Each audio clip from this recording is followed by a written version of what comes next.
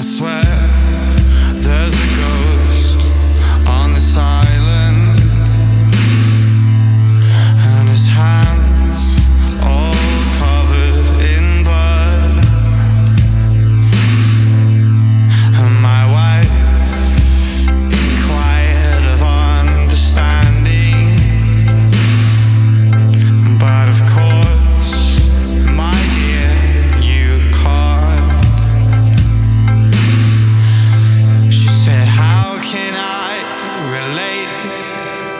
somebody who doesn't speak.